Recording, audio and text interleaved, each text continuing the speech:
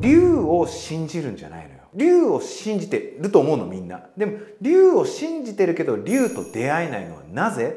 それは皆さんこんにちは。世界で活躍する竜使いドラゴンマスター慎吾です。今日も YouTube 始めていきます。トゥルトゥトゥンおめでとうございます。今日は竜との出会い方についてお話しします。最後まで見てね。この番組は誰でも簡単にすぐできる開運術をお伝えしています。龍神様のお力で人生を上昇させましょうという番組です。ためになったら面白いなと思ったらチャンネル登録お願いします。僕の公式 LINE そして僕が校長を務めますスピリチュアルマスタースクールの公式 LINE にもご登録お願いしますね。はい本題に入ります前にいくつかお伝えしたいことございます。11月11日に出版記念講演会を行います。なぜ11月かというと11月に本がもう一冊出るからですね。8月1日発売の龍神のすごい開運日そして僕がプロデュースした2024年の龍神カレンダー。さらには11月に発売される本この3冊の出版を記念して11月11日超いい日に出版記念講演会を行います。夜は出版記念パーティー。ドラゴンサウンドアクティベーションという音の力で内なる龍神様を目覚めさせる DJ 龍の初ライブも行いますのでぜひ YouTube をチェックしておいてください。なお皆さんのカレンダーにはぜひ11月11日丸をしといてくださいね。さらに直近では8月8日ドラゴンズゲートが開く日に玉木神社の代理参拝イベントドラゴンマネーアクティベーション2023を行います。通常コース VIP コース超 VIP コースとですねいろいろな種類をご用意しております。ぜひこの上昇している慎吾のエネルギーと玉木神社さんのエネルギーさらには龍神様のエネルギーをガツンと受け取ってですね2023年の後半爆上げでいってほしいなと思います。詳しくは概要欄に貼ってありますのでぜひチェックお願いしますね。はいということで今日は龍神様との出会い方という話をします。なぜこの話をしようかと思ったか。それは龍神様にこの間出会ってきたからですね。僕は先日青森に行ってました。青森って実はむちゃくちゃ龍神スポットなんですよ。龍神様がねいるスポットがたくさんあってそして龍神のエネルギーが青森中に流れてる。そんな場所が青森なんですね。なんでそういうかというとやっぱり青森といえば縄文なんですよね。青森で一番有名な遺跡といえば三内丸山遺跡。縄文のエネルギーがものすごい高い場所です。縄文がなぜ龍神かというともともと縄文人はね土器を作る時に蛇を施した土器を作ってました。この蛇も龍のエネルギーだし。さらに青森は水がきれいな場所がたくさんあります。その水と龍神信仰これが組み合わさって非常に青森は龍神エネルギーが高い場所なんですね。で僕もなかなか行くことができなかったんですけど今回初めて行くことができました。青森県の十和田神社。それから岩木山神社この2つの場所に行ってきました。十和田神社というのは十和田湖という大きな湖の近くにある神社さんですね。で僕はそこに行こうと思って青森空港から車で1時間半ぐらいっていう風にね地図で出てたんですけれどももう全然着かないの。3時間ぐらいかかったんじゃないかな。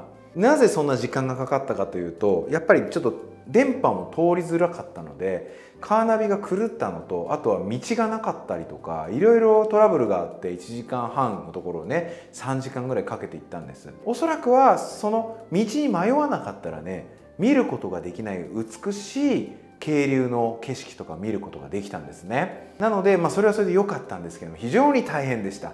なので十和田神社の龍神様に出会った時は非常に嬉しかったです。ちなみに十和田神社の絵馬掛けには金運龍城が爆上って書いた僕の絵馬がね今まだ奉納されてると思いますのでもし十和田神社行くことがあったら行ってみてください。残念ながらね龍神様のお社が山の上にあってその山の上まで行く階段が老朽化してるんでね立ち入り禁止になっていて遠くからしかね参拝することができなかったんですけれどもでも本殿と拝殿はちゃんと参拝できますからね是非行ってみていただきたい。でそこで清流さんに出会ったんですよ。その清流さんと出会ってもう僕の人生やっぱり上昇してくださると、まあ、お約束していただけたんですね。さらにその次の日に岩木山神社さんというところに行きました。岩木山神社さんは山自体がご神体でね白雲大龍神様っていうね龍神様がいらっしゃるそういうお社があったんですね。でそこでも白龍さんにお会いしてまたもや次元上昇をお約束していただきました。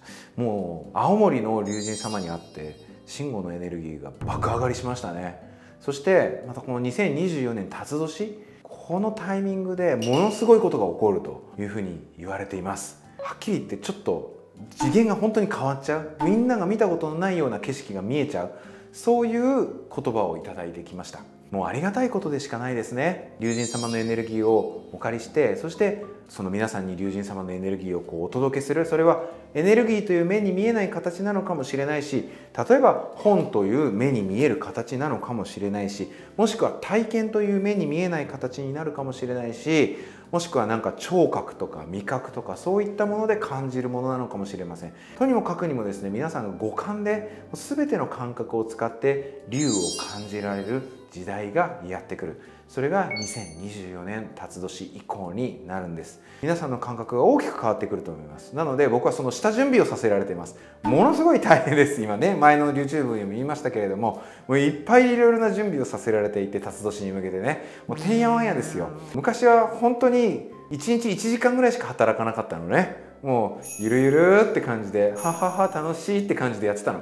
でそれはそれで楽しかったんだけどもある意味セミリタイヤみたいなね。お金はちゃんと回ってるし仕事もみんなに任せてて。だから僕はだいたい1日1時間しか働いてなかったわけ。だからゆるゆるってやってたんだけどもう最近はもう全然ダメね。龍神様に動かされてもうどんどんどんどんもう1日何時間働いてる感覚はないんだけれども動かされてる感じね。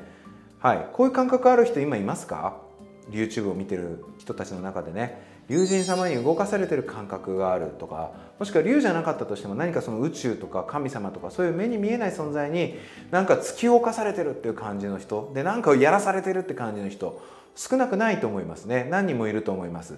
是非その人たちはみんな一緒なので力を合わせて是非こうアセンションに向けて頑張りましょう。でそうじゃないと。で別に私は全然そういう突き動かされてるとかないんですけど慎吾さんって人もいると思うのね。でそういう人は突き動かされてる人たちをフォローして支える立場の人たちです。だから皆さんも突き動かされてなかったとしても今地球のアセンションに貢献してるんですよ。例えば YouTube をこうやって見てくださってるということだけで僕のそのアセンションの活動を応援してくださってるわけですよね。で応援のエネルギーが伝わってます。でそのエネルギーをまた龍神様にお届けしてでさらに龍神様から私はエネルギーをもらってその龍神様のエネルギーをまたあなたに届けてそしてまたあなたからの応援のエネルギーをもらってっていうこの循環が起きてるわけですね。これがとても大事なことなんです今からの時代ね。で今日のテーマをお話ししますけれども龍さんと出会うということなんだけどね。今回そのね龍神の地青森に行って十和田神社そして十和田湖のね龍神様にもあったし岩木山神社の龍神様にもあったんだけどどうやったらその龍と出会えるかっていうことをちょっと3つにまとめて持ってきましたので聞いてください。はいでは龍神様との出会い方1つ目。1つ目は龍神神社に行くということですね。今回行った十和田神社岩木山神社。どちらも龍神様の神社です。ですのでやはり龍神様に会うためには龍神様をお祭りしている神社に行くことが大事です。なぜね龍神様がその神社に祀られているのかっていうとその神社ごとに背景は異なると思いますがでも共通することは何かというとやはり昔のその神社を建てた人たちがそこに龍を感じたからなんですよ。龍を感じたからここは龍神様の神社なんだよねって言って龍神神社を建てるんですもしここに違う神様例えば恵比寿様を感じたら恵比寿様をお祭りするだろうし大国主さんを感じたならば大国主さんをお祭りするだろうし天照大神様を感じたんだったら天照大神様を感じるはずなんですよね。なので古来の人古来の人っていうのは我々よりもスピリチュアル感覚が高い人たち。巫女さんが神様からの言葉を下ろしてそれで成長していた。そんな時代の人たちがここに竜がいると感じたわけですから他の場所よりも龍神様と出会える確率が高いということなんです。さらに言うとその古来の人龍神神社を建てた人がここに竜がいると感じました。そしたら他の人たちもあここに竜がいるんだって思いますよね。ここに竜がいるんだっていう集合無意識みたいなものを龍神様はちゃんと感じ取るんですよ。で竜は私はここにいるべきなんだこの土地を守るべきなんだ。この土地の人たちにエネルギーを分けるべきなんだっていうような理解をして龍神様がそこに定着をするんですよ。そうやって龍神神社のエネルギーっていうのはできてきてるんですね。なので他の神社さんと龍神神社っていうのはエネルギーやっぱ全然違うんです。やっぱり龍神神社は龍のエネルギーがいっぱいあるんですよね。なので龍に出会いたいと思ったら龍神様のいる神社に行く。これがとてもいいことだと思います。龍神様の神社どこがあるかというと例えば江ノ島例えば戸隠例えば箱根。そして僕がプロデュースしている龍神様の開運動がある成田山新勝寺。この辺がやっぱり龍神様の神社もしくは新勝寺だと仏閣になりますけれども龍神パワースポットになりますね。特にね新勝寺はですね龍がすごいんですよ。龍のモニュメントっていうか像みたいなものがもうところどころにあってものすごい龍のエネルギーを感じます、まあ、だから僕は新勝寺にねお店を出させていただくことになったんだろうなというふうに思っています。一番ね関東近郊で手軽なのは新勝寺だと思いますし他の地域でも結構もちろん青森のね十和田湖それから岩木山神社ぜひ行っていただきたい。もしくは北海道まで行けばね洞爺湖っていうのもありますね。九州に行けばやはり高千穂ですよね。そういう神秘的なところに行ってください。龍神様に出会う方法2つ目。2つ目は龍の気配を感じるということです。龍の気配。気配って何？雰囲気ですよね。感覚っていうかこうなんか龍がいそうな感じっていうのをちゃんとね敏感にキャッチするということです。十和田湖行ってみたら分かりますよ。十和田神社に行けば分かります。か竜がいそうだなって感じすごくします。もしくはさっき言った戸隠。そこもね九頭龍神社があるんだけれどもやっぱ竜がいそうだなって感じがするんですよ。本来スピリチュアル能力がある人っていうのはこの感じとか感覚が敏感な人でそしてその感覚を自分で肯定する人なんですよね。竜がいるような雰囲気この雰囲気が竜がいるって肯定してそして龍神様をそこにちゃんと感じられる人が霊能者さんだったりスピリチュアル能力がある人なんですね。でこの YouTube を見てる人はまだねやっぱ感じられないって人が多いと思うので少し難易度を下げてます。少し難易度を下げると龍がいそうな感じなんか龍がいそうだなっていう感じをぜひねキャッチしてほしいの。で箱根もそうだよね。箱根の九頭龍神社とか行ってもあなんか龍がいそうだな。特にねその芦ノ湖はすごく龍がいそうな感じがするんだよね。特にねこの湖ってすごいよ。芦ノ湖もそうだし十和田湖もそうだし北海道の洞爺湖もそうだけどこう湖ってやっぱね竜伝説があるし竜がいそうな感じがするんだよね。だからなんかあ竜がいそうな感じがするってちょっと楽しい感じでねワクワクする感じでまるで子供がなんか遊んでるような感じで是非ね竜さんのエネルギーを感じてほしいんですね。はいそして竜と出会える方法3つ目。3つ目は実際に竜がいるんだって思うってことですね。ここには竜がいるんだなって思うの。そうするとね本当に不思議なことが起こるよ。まずシンクロニシティが起こる。例えばここに竜がいるんだなって思った瞬間にご祈祷が始まったりね太鼓がドーンってなったり。今回の十和田神社もそうでした。僕が手を合わせて「龍神様ありがとうございます」って言った瞬間ドーンって大きな太鼓の音が鳴りました。おおってなりました。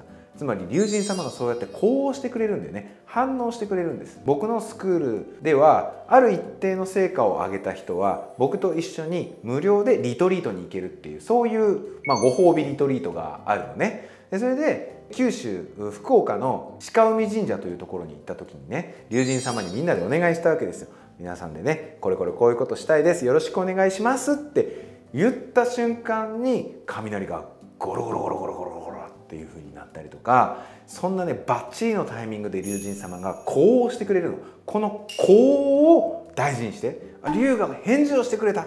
龍が反応を返してくれたっていうのをしっかりと受け取ること。それはねやっぱね竜がいるんだって思わないと返してくれないのよ。だってそうでしょ？竜がいないんだって思ってたら竜は出てくるはずがないわけ。竜がいるんだと思うから竜は出てきてくれるわけ。すごくシンプルに言うとですね実はあなたの意識が竜を呼び寄せてるってことなのね。わかるかなこの感じ？ちょっとね難易度高いことを話しちゃってますけれども。実は皆さんが一人一人がスピリチュアル能力があって皆さん一人一人にこういう魔法みたいな力があるんですよ。例えばねある竜使いと一緒に僕神社回ってたの。で雨が降ってきたのね。で雨が降ってきて濡れちゃうなと思って。でその竜使いの人が手を合わせて「竜神様ちょっと今雨やめてもらえますか?」雨具持ってないんでって言ったら雨やんだのね。こういうことできるのよみんな。だけどその自分の能力を信じていないとできないんだよね。でも信じればできるの。それはねいいですか？今からすごい大事なこと言うよ。竜を信じるんじゃないのよ。竜を信じてると思うのみんな。でも竜を信じてるけど竜と出会えないのはなぜ？それは自分を信じてないからなんです。今すごい秘密を喋っちゃいました。ああいいのかな？これ無料で出して。自分を信じないと竜は現れてくれないんだよね。逆に自分を信じさえすれば竜は現れてくれるんです。ということで今日は竜との出会い方でした。いつも励みになってます。ありがとうございます。見ていただいたあなた愛してるよ。せーの。竜。